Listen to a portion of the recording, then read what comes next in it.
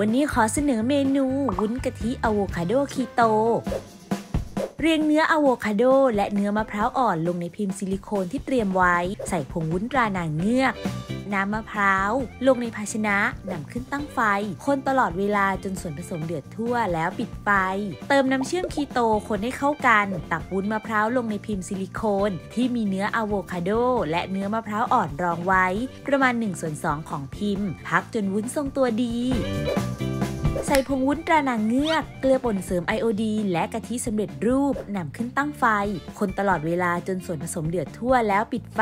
เติมน้ำเชื่อมคีโตและเนื้ออะโวคาโดบดละเอียด คนจนเข้ากันดี เกร็ดความรู้การทำวุ้น การใส่น้ำเชื่อมคีโตในขั้นตอนสุดท้าย จะช่วยคุมระดับความหวานในส่วนผสมได้ดี น้ำเชื่อมคีโตเป็นสารให้ความหวาน ที่ทำมาจากหญ้าหวาน ผู้รับประทานคีโตสามารถรับประทานได้ ตักวุ้นลงในพิมพ์ซิลิโคนที่มีวุ้นมะพร้าวรองไว้แล้วจนเต็มนำเข้าแช่เย็นจนวุ้นทรงตัวดี พร้อมเสิร์ฟค่ะ กับเมนู วุ้นกะทิอะโวคาโดคีโต